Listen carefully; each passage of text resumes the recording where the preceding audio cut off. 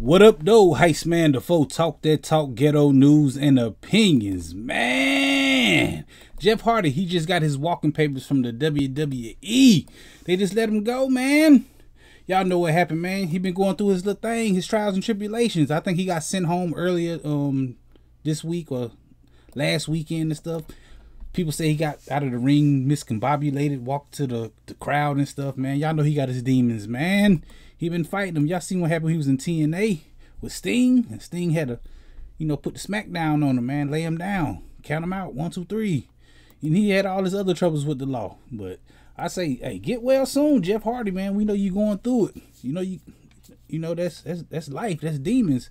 But get well soon and probably, you know, show up at AEW. Get back with your brother, man. Do y'all thing.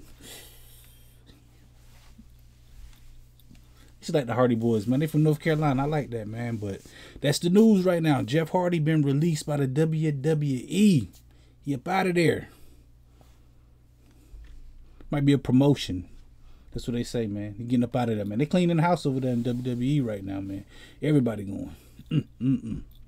Anyway, we definitely gonna be talking about this Friday, man. I go live every Friday talking about stuff just like this. Y'all gotta come through and holler at me, man. Hit that like button, the comment button, the share button, the subscribe button, the notification bell. All them good buttons you got to hit to get this pimping that I'm putting out when I put it out.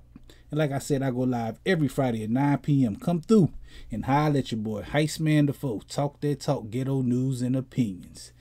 Peace. And get well soon, Jeff Hardy.